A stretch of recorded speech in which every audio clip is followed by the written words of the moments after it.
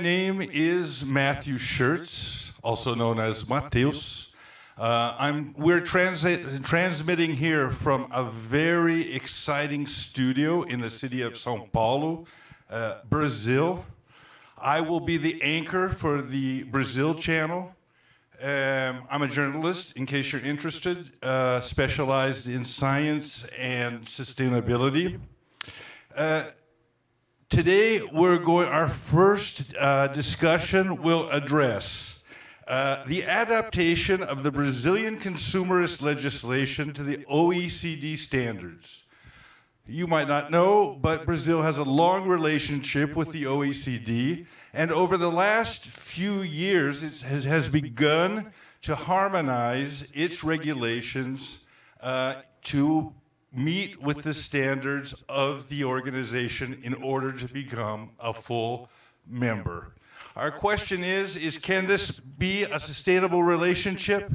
To address it, we have two exceptional guests, Juliana Oliveira Domingues, who is Consumers National Secretary at the Ministry of Justice. She's a professor of economic law and antitrust law at the University of Sao Paulo and was a visiting scholar at Georgetown University.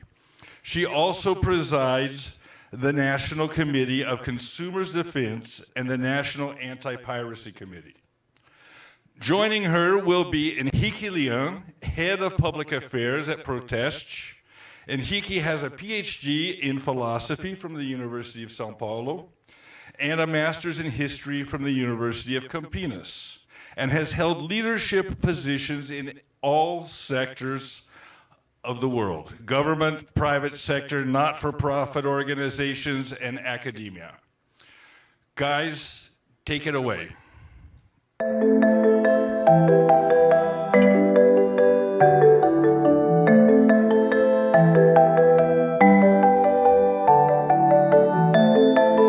Professor Dr. Juliana Domingues, thank you so much for being with us, taking part of the International Forum by Euroconsumers. We're very happy and very proud to have you here.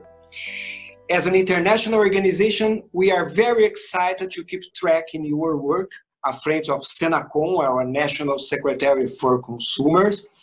You are taking the lead in fundamental issues for consumers and trying to put every actor on board. You have refunded the Brazilian National Consumers Defense Council, and you have a pro-competitive approach that pleases very much. So could you share with us what are your challenges, your plans for the next months, the next years? So first of all, I would like to thank you for this uh, fantastic opportunity to participate in such an important forum and showcase the latest uh, consumer policy developments in our National Secretariat for Consumer Affairs that we call here Senacon. In 2020, uh, the main challenge to Senacon, I, I think, and as to other national consumer authorities, has also been the pandemic. Since the beginning of the pandemic in March, Many problems arose in Brazil, and we are facing several negative externalities that may transfer to our society the costs that should be mm-hmm. uh, internalized by producers and service providers. Uh, of course, this picture only reinforces what I am saying to our consumer system. We must create bridges and promote an environment that can improve a good communication and protect consumer rights without eliminating uh, competition and innovation. Uh, it was not easy to promote uh, consumer protection during the coronavirus outbreak, which has uh, imposed a difficult task to balance the maintenance of the contracts uh, in this scenario of potential loss of income due to the financial economic crisis caused by the pandemic. I think, uh, as we all know, the challenges posed by coronavirus connected consumer protection issues with uh, also personal data protection and e-commerce. And we could observe the need to develop new tools to protect specifically vulnerable consumers. Uh, and we have some specific policies for consumers with disabilities. Besides, we are structuring the National Consumer Protection Board to uh, harmonize consumer relations and reduce the legal uncertainty in Brazil. The Brazilian system is very complicated uh, as we have a country with continental dimensions with different regional approaches, and we have uh, several consumer demands to deal with. Of course, uh, in the months and years to come, uh, I think that consumer protection policy here must be linked to the OECD best consumer uh, policy making practices. Uh, and as for the question, I have established some uh, priorities for next months with my team. Uh, thus, regarding the priority list, I would like to highlight some of them. Can I? Of course, please share with us. Okay, so we are working hard for the adhesion of Senacon to OECD Committee on Consumer Policy as a participating member, and we hope to incorporate all OECD recommendations on consumer protection. We also work in Brazil uh, a lot to uh, make the accession to the econsumer.gov, an international platform where consumers can report uh, transnational consumer frauds. Another important goal uh, is the promotion of the Brazilian platform, consumidor.gov.br. Our platform is an essential tool that helped a lot the consumers during the pandemic. And we now have a net version for mobile devices here in Brazil. And the Brazilian reality is very unusual. We have this high level of uh, judicialization, uh, and it is a problem that has been highlighted in several research, uh, especially some conducted by the National Council of Justice. My team uh, told me that uh, the official data shows an increase in the stock of the cases pending judgment. And it's also important to understand that consumer related procedures account for more than 10% of the new lawsuits according to the data provided by National Justice Council. We have more than 80 million lawsuits pending before the pandemic. Uh, so uh, to develop new strategies to deal with this scenario, Senacon hired a technical consultant who is sponsored by the United Nations contract. And uh, as I mentioned before, we have also the National Consumer Defense Council uh, working with this. Uh, we have a specific commission dealing with alternative dispute resolutions methods. So we must improve our ODR, consumidor.gov.br, uh, it is a very important platform, but we are working on the development of alternative dispute resolution uh, methods, including mediation, self-regulation, co-regulation, and I think it's so crucial to be open to these different instruments, which happens to be more effective than the Brazilian current judicial system. Uh, I think it is also important to mention that two months ago, we uh, launched a new public policy to consumers with disabilities.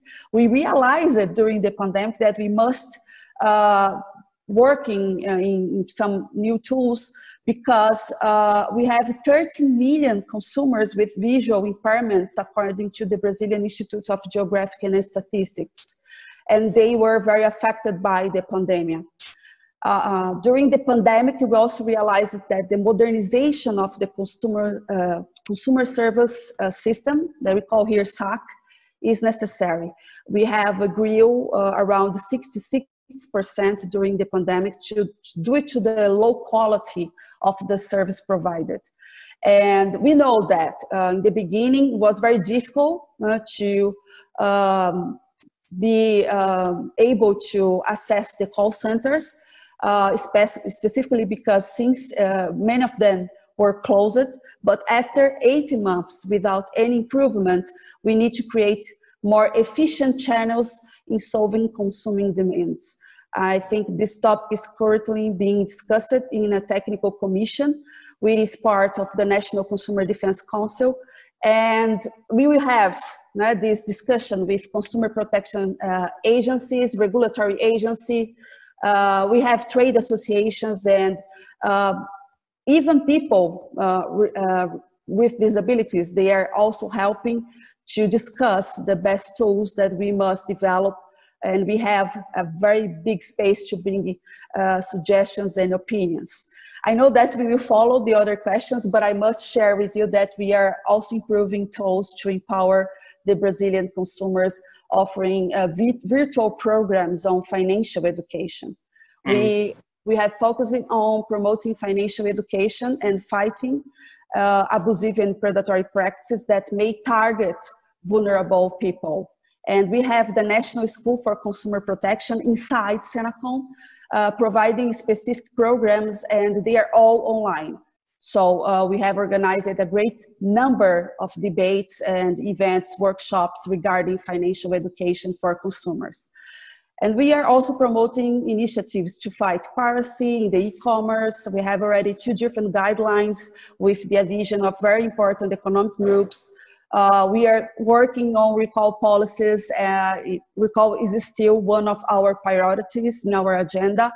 So in the next months and years to come, I think that besides being linked, very linked to OECD best consumer policy making uh, practices, we, we still need to follow uh, the technological developments which impact of course in all uh, consumption relations and machine learning internet of things big data uh, everything is some uh, we, we, need to follow very close to develop our uh, consumer policies just to finish, I'd like to say that we are still facing a very challenging moment and to fully address all these new challenges brought up by the pandemic, we need to speed up the new policies pace already underway. Besides, we are reinforcing a comprehensive and a more uh, transversal uh, analysis of the relations uh, involving consumers, governments, and companies. And I think that at this moment we must create much more bridges and promote an environment that can improve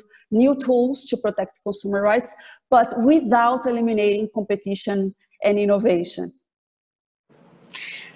Thank you so much for the wonderful summary. You have touched so many important sensitive issues, alternative methods of dispute resolutions, tools for disabled people, e-commerce, the OECD factor, as we call it, so, so many things.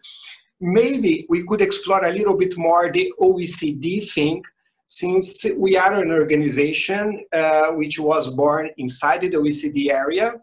Proteste in Brazil is our only organization from the group outside the OECD. And we are very, very convinced that if Brazil becomes a full member of OECD, it's going to be a very um, added value for consumers. So you touched this point already. So briefly, do you see that we still have a regulatory gap to be filled in order to become a full member of OECD in terms of consumption relations, or we are close to become a full member? Right.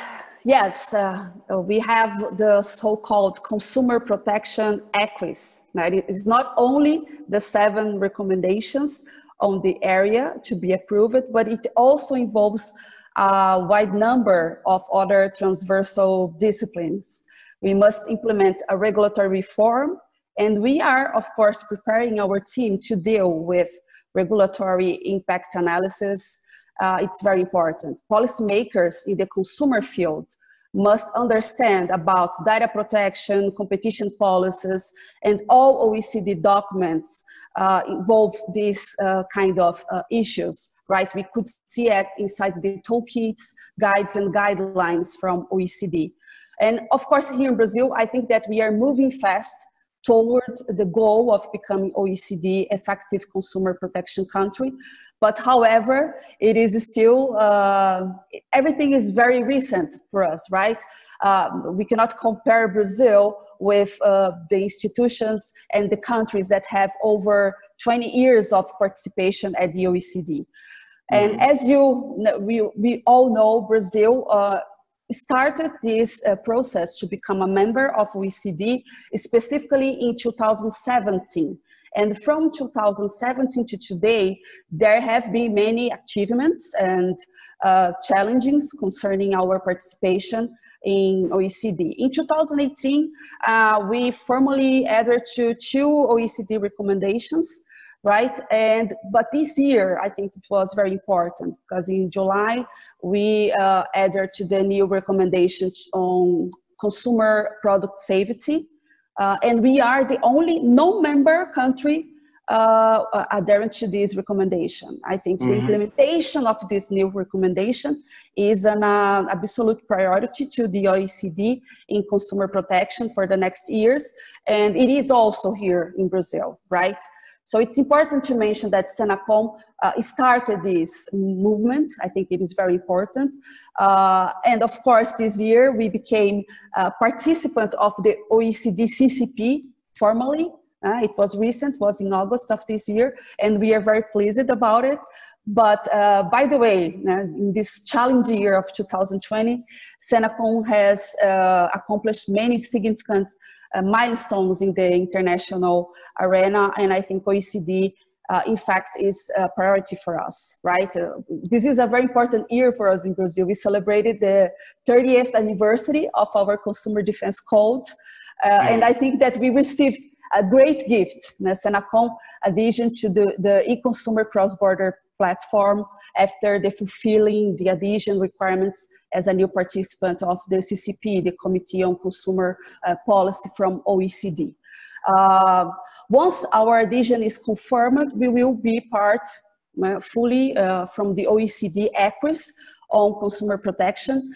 Uh, then for 2021 uh, and the following years, I think we will face a big challenge to implement not only the seven OECD consumer protection recommendations, but it involves uh, uh, legislative, uh, different policies, changes inside our body, and updates uh, as well. I think an institutional reform uh, will be improved to give more structure to Senacon.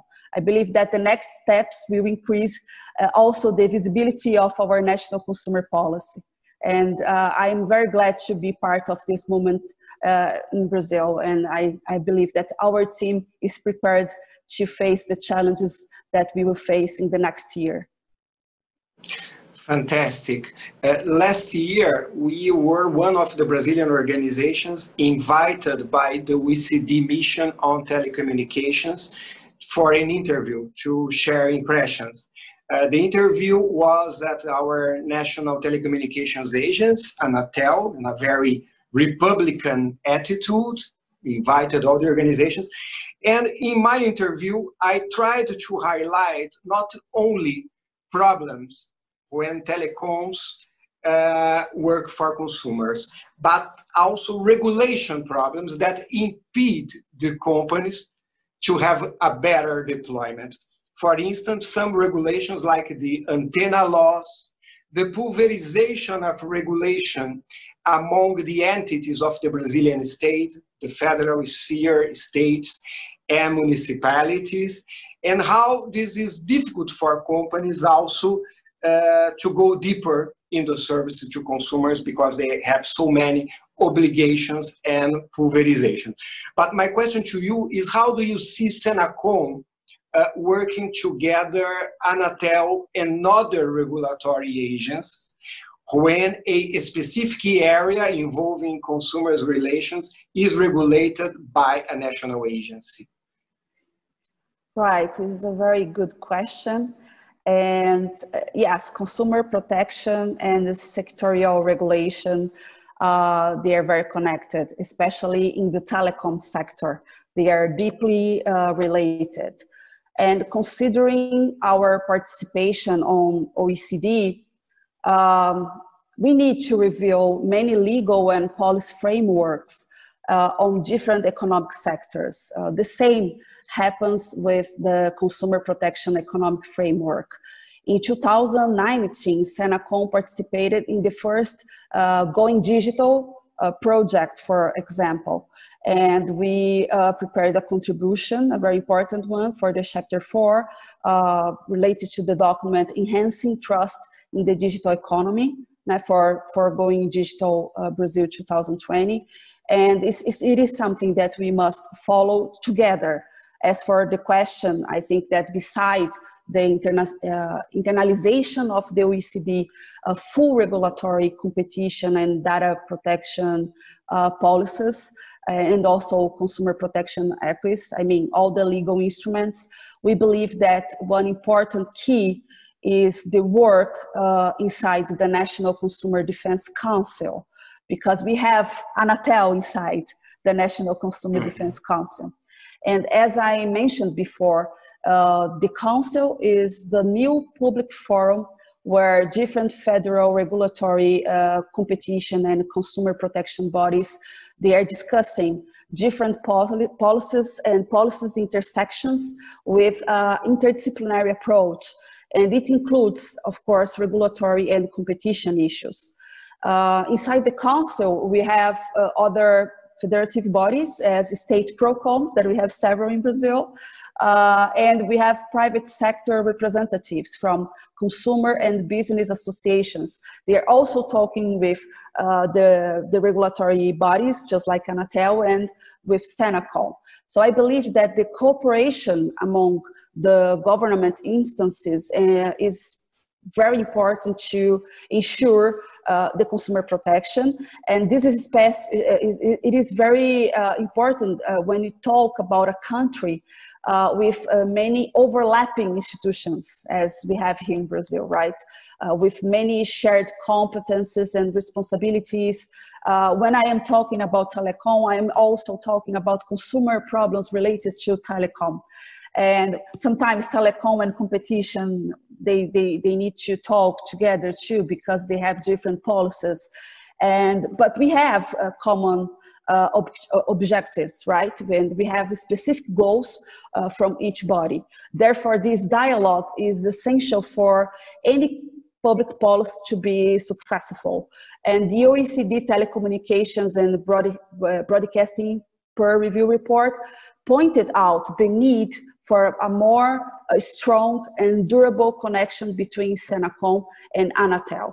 Uh, and I, I, believe the same could be said about other regulated markets such as civil aviation, health, pharmaceutical. Uh, in the case of regulatory uh, markets, uh, markets that are regulated in Brazil, uh, cooperation is sometimes critical as these markets may create difficulties for less uh, special, specialized bodies that are not very familiar with the market. But sharing data and exchanging views uh, this can uh, help us to solve and to develop better public policies. And we intend to take part in a more effective communication with other regulatory agencies. And we started it uh, in 2019. I believe uh, the, we have a great example now during the pandemic we have uh, relations with uh, different bodies and regulated sectors to develop some agreements that we call in brazil tax uh, and we have a very good example uh, with Senacon and Brazilian Airlines regarding the coronavirus pandemic. And we know that uh, a successful policy require from us a more uh, comprehensive perspective, taking into consideration the needs of the consumers, but also the situation of uh, the, uh, the regulatory market, right? In the civil aviation sector, for example, we saw it this year. Now, the National Civil Aviation Agency provided very uh, important information and data about the sector for us, and it mm. aided my team to understand what was possible in the context and, and the best outcomes for our consumers. Uh, but we are making some important efforts. Uh, we are very open to, uh, you know, uh, dialogue and I think civil society is also much more close with us now, especially because we have the council and the National Consumer Defense Council is a body that can help us to uh, have a better relation with uh, the national telecommunications agents like Anatel, mm-hmm. uh, but we have others, right? And it's uh, a specific commission that we have now a specific commission inside the council that is ex- exploring uh, specifically the Brazilian regulatory system, and we are emphasizing the, the relationship between the agents and the consumers. We think we, we can build it together and we are doing a very good uh, work inside this commission uh, that is uh, represented by Anatel. Thank you very much. It was a very good explanation. Uh, the Europeans assume they have a very complex framework with national regulations plus the European Commission, the European Parliament, the European Council. But when we explain to them the structure of Brazilian public policies and regulations, they are amazed how complex it is and how difficult to navigate it is, especially doing those uh, interministerial uh, bridges, as you mentioned. So th this is very important. So uh, the National Data Protection Authority, of course, is very important, especially in the relationship with companies, with big companies.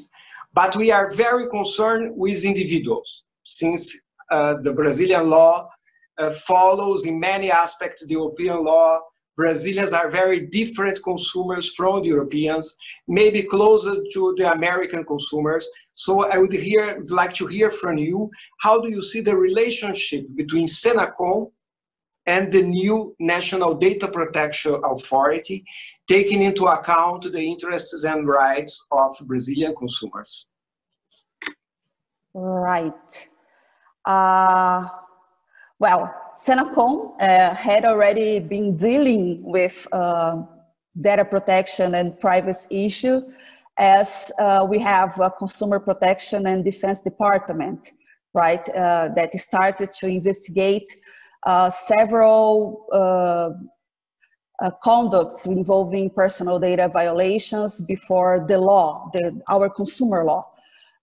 for instance, we find it uh, recently a very important fashion company for using, for example, uh, facial, um, facial recognition uh, technology uh, without the consumer's consent. Uh, and it is also a consumer violation, right? So it is data protection, but it's also a consumer violation. nonetheless, the legislation offers new protection against uh, privacy violations and it also creates uh, further legal safeguard for consumers. I think it represents significant uh, consumer rights progress. Even though uh, the law makes an, uh, an, an agency that now will deal with this issue, right? The National Data Protector, Protection Agency is a, a space uh, now that they will take care much more about the data protection. And we are taking care about consumers, but sometimes it involves data protection too.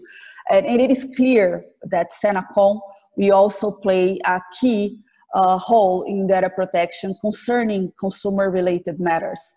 As such, uh, in the foreseeable future, I think Senacon intends, uh, of course, to cooperate with uh, this new agency and probably we will establish um, a cooperation, right, uh, specifically uh, to ensure consumer welfare.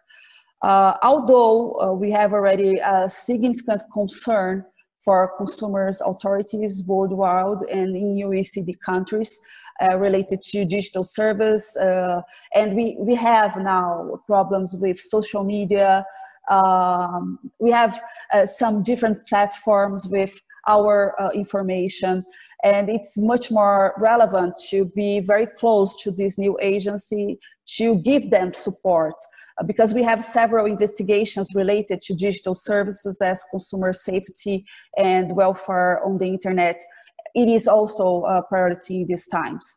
Uh, so we are thinking about drafting an agreement uh, to formally cooperate with this new agency, uh, considering that we have some overlaps and that our consumer code also protects consumer data. And I think we will have uh, space, right, to develop uh, some uh, public policies together. I, I am very happy to have now the National Data Protection Agency because we just can go further investigations that are related to consumer problems.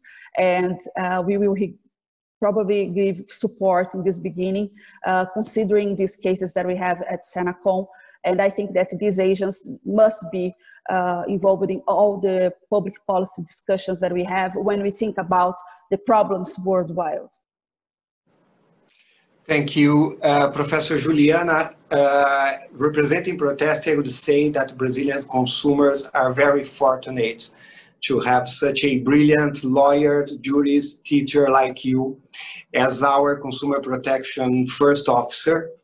And uh, we want to support your work. So my last question for you is if you foresee any kind of collaboration between an international consumers protection organization like ours and your important work. If you foresee, we will be very happy to support. But I let you say it if you see some sort of possible collaboration.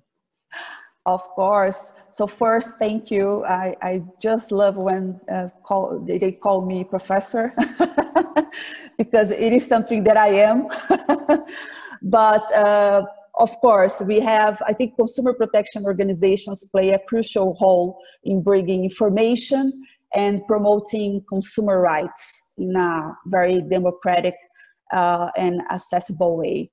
Uh, as it is the tradition of our federal public administration, uh, Senacon always promotes uh, transparency and dialogue with all stakeholders. Uh, the profile of a more technical consumer association, just like Proteste, is essential to consumer protection in Brazil. Uh, you are doing a very important work in Brazil, and hopefully, Senacon and Proteste have a significant interaction, right? Proteste has space in our initiatives and public policies, and I hope to have you collaborating in this new modern and international consumer protection agenda in Brazil. I am sure that we can do a lot together and it's an honor for me to have uh, this support uh, from Proteste. Thank you so much. Thank you so much. It's a pleasure for us to contribute with your important work. And it was more than a pleasure to have your brilliance here in our Consumers Forum 2020. Thank you so much for taking part. Thank you so much for this invitation.